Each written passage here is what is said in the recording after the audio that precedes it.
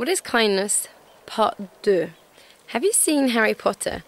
I'm going to use Harry Potter as an example of something that I believe is a really important part of kindness that I think often gets overlooked. So that's why I wanted to make this very short video. Uh, but Harry Potter, you've probably heard of him, little guy with round glasses, magical boy. He has an adopted family that hate his guts. You know, if you've seen the film or you've watched the books, read the books, you know what I'm talking about.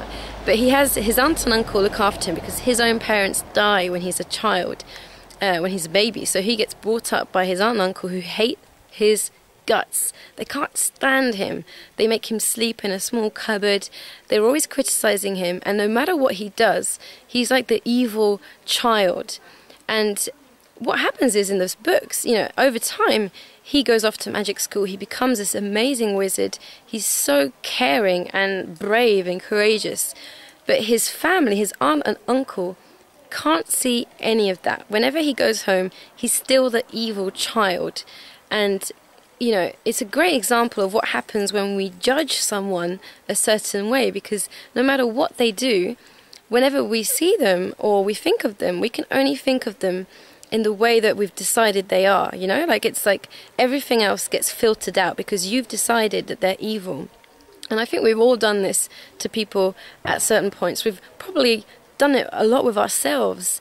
And one of the things I think is true kindness is when you don't do that with people and when you're like an animal or you're like a a tree and you just you observe people but you don't judge them you don't have an opinion about them and I've met very to be honest I haven't had tons of people in my life that don't judge me and I'm not saying that's people's faults but I think often our society brings people up to to think that way. You know, we always judge whether something is right or wrong, whether a person is right or wrong.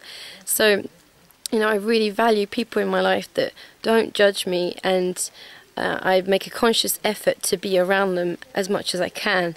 So, you know, that's one of the elements of kindness in my view. So, I'd love to know what you think about this and whether you've uh, have people around you that don't judge you, whether you have people who do judge you, and you know, if you do, then it's just it creates magic like in Harry Potter when you start to spend more time with people who don't. You don't have to like never see the people who do judge you, but you know, just to be aware of that that that's just the way they function. So that helped me a lot. I hope this can be of help to you and let the Harry Potter be unleashed. See ya.